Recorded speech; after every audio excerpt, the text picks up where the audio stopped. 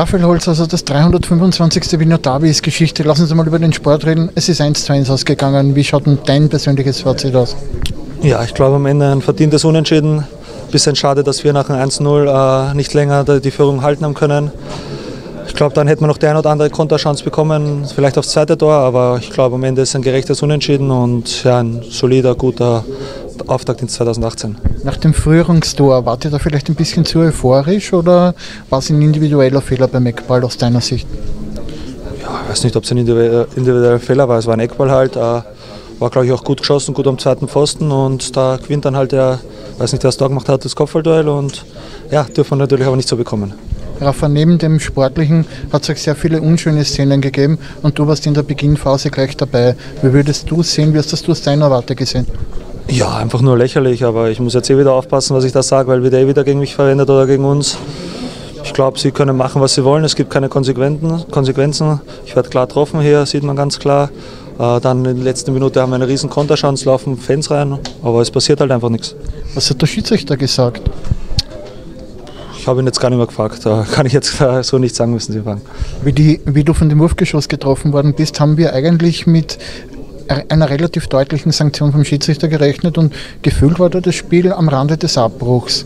Ähm, wie war das für dich? Hast, hast du dem Schiedsrichter gesagt, dass du getroffen worden bist oder war das einfach aus der Situation heraus? Ja, ich habe sie natürlich gezeigt. Wir waren ja kurz in der Kabine drinnen, hat er gesehen, aber ja, er hat gesagt, wenn nochmal was passiert, dann ist ein Spielabbruch. Ich glaube, es ist ja dann sogar noch was passiert, aber war jetzt da nichts. Aber wir Fußballer wollen natürlich, dass das Spiel zu Ende gespielt wird. Äh, wie gesagt, ich habe vor dem Spiel gesagt, dass ich gerne hier spiele. Laola hat natürlich wieder anders geschrieben, dass ich mich auf die Rapid-Fans freue. Ich habe gesagt, ich spiele gerne vor ausverkauftem Haus wie jeder Fußballer, aber es soll fair bleiben und das hat nichts mit fair zu tun. In der Nachspielzeit dann noch die Szene mit den, mit den Zuschauern, der hineingelaufen ist, die haben wir keine Torchance genommen. Besonders ärgerlich, oder? Ja, wie ich schon gesagt habe, war, glaube ich, eine riesen Konterchance für uns. Ist natürlich extrem schade, weil dann beginnt das Spiel bei uns wieder bei unserem Torhüter hinten. Aber wie gesagt, jetzt schauen drüber, Spiel abhaken wieder. Äh, wir bleiben jetzt optimistisch. Wir kriegen neue Spieler dazu, jetzt wieder nächsten zwei Wochen mit Madel, Grünwald, Klein, Westermann, die was der Mannschaft nochmal Qualität geben. Und dann bin ich überzeugt, wie ich es jetzt schon oft gesagt habe, dass die Austria am Ende wieder international dabei ist. Letzte Frage, am Ende gefühlt ein gewonnener Punkt für euch, oder? Ja, ich weiß nicht, wenn man jetzt sagt, äh, man spielt auswärts bei Rapid 1-1 vor einem Spiel, äh, nimmt man das natürlich gerne mit, aber ich glaube trotzdem, wir dürfen nicht so schnell den Ausgleich kriegen, dann haben wir, wie gesagt, die ein oder andere Konterchance, aber jetzt nehmen wir den Punkt mit. Jetzt warten interessante Wochen auf uns mit Lask, Mattersburg, Admira und dann bin ich überzeugt, dass wir wieder an, oben anschließen. Danke, Raff und alles Gute. Das 325. Wiener Derby ist Geschichte, Endstand 1 zu 1. Lass es uns einmal Revue passieren. Wie war es denn für dich? Ja, für mich war es sehr schön, das erste Derby zu Hause war wirklich schön. Die ersten zwei habe ich gewonnen, auswärts. Ja, es war halt, am Anfang haben wir sehr gut gespielt, danach, wo wir wegen den Ausschreitungen, also, wo wir dann rausgegangen sind wieder, hatten wir eine Phase, wo 15, 20 Minuten, wo wir nicht gut gespielt haben, wo die äh, Mitte komplett offen war und dann, danach, habe ich, danach haben wir Vollgas gegeben. Ja. Wie hast du die Phase mitbekommen? Äh, welche denn? Die mit den Die erste Unterbrechung, die zweite. Ja, ganz ehrlich, also das, passiert immer wieder auch. Äh, wenn er schnell ausführt, da passiert nichts. Klar ist es nicht schön von unseren Fans, was sie da reingeworfen haben, aber wenn er schnell also ausführt und die Männer hatten ja auch Regenschirme mit, ja. Zum Spiel selbst, erste Halbzeit gefühlt die Austria besser, zweite Halbzeit hat dir ein Chancenübergewicht gehabt. Wie wirst du äh, Revue passieren lassen? Ja, genau so ist es, ja ich finde, die ersten 10, 15 Minuten war man nicht schlecht. Also äh, klar, wo ich gesagt habe, dann, wo wir dann rausgegangen sind, wieder äh, war es nicht gut von uns. In der zweiten Halbzeit war man ja viel aggressiver, haben wir die Mitte komplett zugemacht und da hatten sie, glaube ich, keine Chance mehr. Ja. Bist du der Mann für die wichtigen Tore? Gegen Salzburg, im Derby treffen, das, suchst du dir das so aus? Ja, es sieht so aus. Also, na, klar ist es sehr schön, wenn man gegen die Austria trifft, also als Rapid-Junge, ja. War schon extrem wichtig, auch, auch nach, dem, nach dem Gegentreffer gleich zurückzuschlagen. Ja, war, klar, war sehr wichtig. Also ich glaube, dann, wo wir die, ich weiß nicht, wer genau die Stange getroffen hat, dass, wenn, wenn das reingeht, also können wir da gewinnen. Ja. Das war auch die beste Phase wahrscheinlich in der Partie, weil da haben beide Mannschaften auf, auf, aufs Tor gespielt. Hat dann im Endeffekt am Schluss vielleicht ein bisschen dieser Nachdruck gefehlt, da auch wirklich diesen Sieg zu holen? Na, wir wollten, das, das hat man glaube ich gesehen, dass wir das wollten. Also, aber klar, das ist ein Derby. Klar, wir sind auch nicht zufrieden mit den 1 zu 1, aber schauen wir auf nächste Woche gegen Admira, hoffentlich holen wir da die drei Punkte her.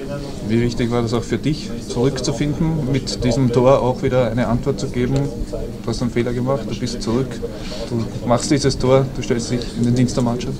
Ja, klar war es nicht schön, was ich da aufgeht habe in Urlaub, aber ich glaube, das ist Geschichte. Ich will heute und jetzt leben. Klar war es wichtig für, für die Mannschaft, für mich selbst. Also, wo ich das Tor gemacht habe, war ich also voller Freude und ich habe mir gedacht, ja, das kann ich jetzt alles hinter mir lassen. Die Unterbrechung war nicht genug, dann auch noch Platzstürmer am Schluss, da war alles dabei. Ja, heute war alles dabei, leider, ja. Was macht man da trotzdem? Ähm, auf die Fans wird immer wieder eingeredet, sie wissen, sie dürfen es nicht, aber es passiert immer wieder, du hast es gesagt. Wie, als Spieler ist das ja auch nicht angenehm, wenn man da unterbrochen wird. Ja klar ist es nicht angenehm, wenn man da wieder rein und dann wieder raus muss. Ist, das ist einfach nicht schön, aber, aber so ist halt Fußball. Wir können nicht, äh, wir können nicht wissen, was passiert und wir, müssen jetzt leben mit den einen Punkt. Ja. Christoph Mutschein, das 325. Wiener Derby ist Geschichte. Am Ende ist es 1 zu 1 ausgegangen. Wie war es aus deiner Sicht? Wie würdest es du analysieren? Ja, ich muss sagen, es war ein recht ausgeglichenes Spiel. Einmal hat die Druck gemacht, die Mannschaft, anders, anders mal die andere. Aber ja, im Endeffekt bitter, dass wir das 1-1 gleich zwei Minuten nach unserem Tor bekommen durch einen Standard. Ja, kann man natürlich besser verteidigen, aber ja, im Endeffekt können wir zufrieden sein mit einem Punkt, haben uns aber natürlich vorgenommen, hier mit drei Punkten heimzufahren. Du hast ein Tor geschossen zur richtigen Zeit am richtigen Ort, oder? Ja, kann man so sagen. Also ich bin dann voller Wäsche mitgegangen, noch in den Strafraum, wollte unbedingt noch dabei sein beim Angriff und Venuto super durchgesetzt auf der Seite und dann ist der Ball zu mir gekommen. Ich habe nur noch über die Linie schieben müssen. Ist eigentlich einen schweren Stand gehabt, oder? Ihr habt ein bisschen Probleme gehabt, ins letzte Drittel zu kommen, aber in der Situation warst du dann. Ja, ich bin nicht, glaube ich, nicht sonst eigentlich kaum zum Torabschluss kommen, aber ist nicht leicht natürlich gegen Rapid hier in Hütteldorf unsere, wir haben uns auch darauf eingestellt, eben, dass wir mehr kompakt hinten stehen, defensiver spielen, mehr über die Konter spielen und dann ist es klar, eben, dass man nicht zu so vielen Chancen kommt. Aber im Endeffekt haben wir wirklich gut gespielt, gut gekämpft, gut gearbeitet, die ganze Mannschaft, Fehlerposition, echte Topleistung abrufen. Leider wurden wir eben nicht mit drei Punkten belohnt. Da waren diese zwei, zwei Tore in wenigen Minuten und die Chancen danach, war das nicht die beste Phase von beiden Mannschaften eigentlich? Ja, also direkt nach der Halbzeit, glaube ich, sind wir überragend gestartet. Wir haben Gas gegeben, wir haben viele Chancen gehabt. Uns eben belohnt mit dem 1-0. Natürlich müssen wir dann cleverer sein, beziehungsweise besser verteidigen, dass wir nicht den 1 zu 1 vor allem durch einen Standard bekommen. Aber eben, ja, Standard ist immer möglich in einem Match. Ne? Christoph, lass uns, wir müssen noch über drei Situationen reden. Zweimal die Wurfgeschosse mit dem Unterbruch. Wie hast du als Spieler wahrgenommen? Wie war es für dich? Ja, natürlich waren wir sehr nah bei den Fans beim Eckball eben. Man hat natürlich auch Angst um seine Gesundheit. Kann einiges passieren. Ich habe gesehen, dass Jägermeisterflaschen reingeflogen sind. Die sind natürlich sehr schwer und können extreme Wunden uns erzeugen. Aber ja, wie man beim Rafa gesehen hat, hat er eine Wunde auf der Schulter. Und ja, es gehört auf jeden Fall nicht zu diesem Sport und dafür müssen halt die Verantwortlichen sorgen im Normalfall, dass das normal über die Bühne rennt. Du hast Jägermeisterflaschen angesprochen, kann man das als Spieler ausblenden? Ja, ich glaube, das dauert zwei, drei Minuten, dann habe ich es wieder vergessen gehabt, dann waren wir immer wieder voll im Spiel und fokussiert. Aber kurze Zeit bringt es sich natürlich raus und eben so eine Unterbrechung ist auch für Spieler nicht leibend auf beiden Seiten, weil einfach die Muskeln kalt werden und ja, ist nicht gerade super für die Gesundheit. Die Situation in der Nachspielzeit, wo er den Konter gehabt hat auf das mögliche 1 zu 2, wo der Zuschauer hineingelaufen ist, Hand aufs Herz, ist man da als Spieler sauer, weil es war doch eine sehr große Chance für euch. Ja, also natürlich war es eine Riesenchance und sowas darf einfach nicht passieren und ich glaube, es haben Ewigkeiten gebraucht, bis Ordner überhaupt da waren. Die sind lange am Feld gewesen und wir sind immer einfach runterbrennt. Wir haben rechte Seite war ganz offen. Wenn der Ball rüber zu De Paula kommt, glaube ich, steht allein vom Tor. Natürlich wäre dann wahrscheinlich drei Punkte drin gewesen, aber im Endeffekt dürfen wir das jetzt auch nicht auf eine Szene drauf beharren. Wir müssen einfach das Ganze, wir haben 90 Minuten Zeit gehabt, das Spiel zu gewinnen. Und, Letzte Frage von mir, was könnt ihr als Mannschaft mitnehmen nach dem Spiel?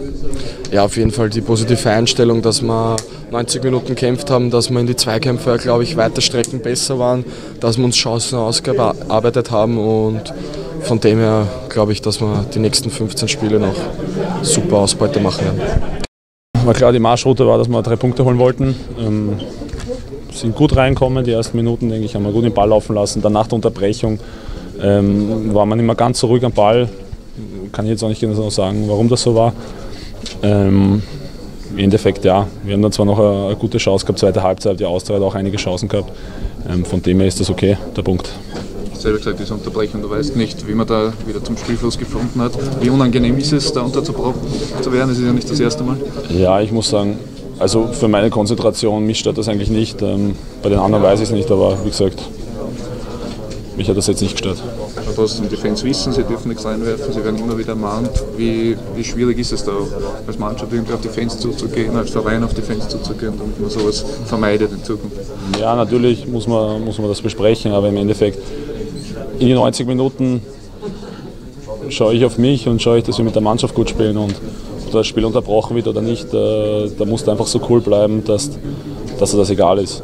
Ähm, dass dann die Leistung abrufst am Platz und dich nicht beschäftigen, wer was reinschmeißt oder nicht reinschmeißt oder was der Schiedsrichter macht oder, oder was die Gegner machen. Dann muss man auf sein eigenes Spiel schauen und, und der Rest ist nebensächlich. Beim Gegentor hast du keine Chance mehr gehabt, dran zu kommen, oder? Der war noch abgefälscht vom, vom Deon. Ja, das war halt auch ein bisschen ein Pech. Der schießt eigentlich, will in die Kurze schießen, dann geht er in die Mitte.